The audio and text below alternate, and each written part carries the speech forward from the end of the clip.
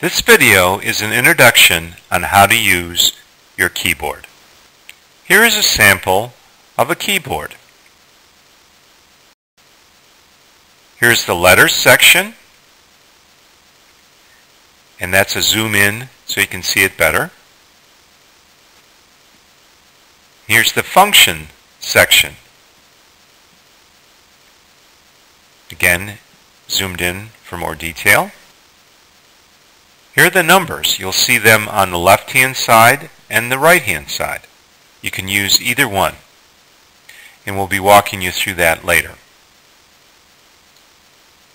And we've zoomed that in so you can see the numbers better. Here's a sample of a laptop keyboard. This is the numbers section, and you'll notice that there's just one numbers section. There's not one on the right-hand side like you saw on the previous keyboard. Here are the letters. Here's the function section. Touchpad. Well, what's a touchpad? It's very similar to a mouse. You take your finger, you put it on the touchpad, and when you move it to the right, the cursor moves to the right. If you move it to the left, the cursor moves to the left. You can move it up and down, and so forth. It also has a left click. So when you click on that, it's similar to the mouse. It's like a left click. And you also have a right click. This is a registration form, and we're going to use this to help you walk through the keyboard and how to use text, numbers, etc. The registration form is used on the Villages computer club website. First thing you need to do is put in your village ID. So here's the numbers section on the right hand side of your keyboard. You can also use the number section on the top hand side, for example on your laptop. If you're using the right hand side, you need to make sure that it's activated and the way you do that is you click on the number lock. Then what you need to do is move your cursor to the Villages ID.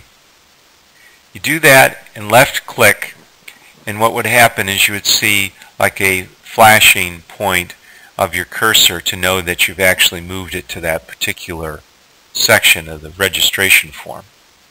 Next what you do is you type in a number like 5, then you continue with all the 5s. And obviously it would be, your ID wouldn't be all 5s. Next thing you do is you need to move down to the next portion of the registration form. And the way you do that is you go and you click on the tab button. And when you click on the tab button, what you'll see is that the cursor moves down and it would be flashing, but you don't see it here on this screen. Then you start to type in the name. The next thing is you type in your first name. And the first letter needs to be a capital. Well, how do you do that? What you do is you take your finger and you put it on the shift button and then click on F, for example. And you continue to do that, R, E, D. Then you continue to type in like your last name, you'll see up there Benson. Then start to do email address. You see their test. And let's say you had to do an underscore. Well, what's an underscore? What you see here on this key is there's an underscore on the top and underneath is called a dash. Well, how do you do the underscore? Well, what you need to do is press on the shift button and then on that key and the underscore shows up. If you didn't do the shift, it would be a dash. Then you type in a number like 110. And then let's say you got to put in the at, which is very typical in an email address. So again, you press the shift button and the number 2 and the at button shows up at the top. Then what you need to do is type in the email like Hotmail, for example, Gmail, etc., and I'll show you Hotmail. Then the next thing you need to do is put in a dot. Well, where's the dot? Well, you see the dot here, which is on the right-hand side of the keyboard. And when you click on the dot, it shows up. And there's another place on the keyboard in the numbers section where you can use the dot button. Then the next thing you need to do is type in the end like com. After you finish the email address, then you put in your phone number. Well, you put it in like on the numbers section here, like 352. But then you have to put a dash in. And we mentioned in the previous slide one way to do it, but here's an easier way on the numbers section. You just go to the upper right hand side, click on that, and you see the dash. Then, then what you need to do is continue to fill out the phone number.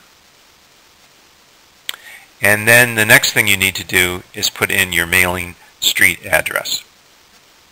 To learn more about key definitions, there's a website which is listed at the top, and you'll see a sample below. And that link is also in the Villages Computer Basics website, and you'll see that link there as well. Thanks for watching this video on how to use a keyboard.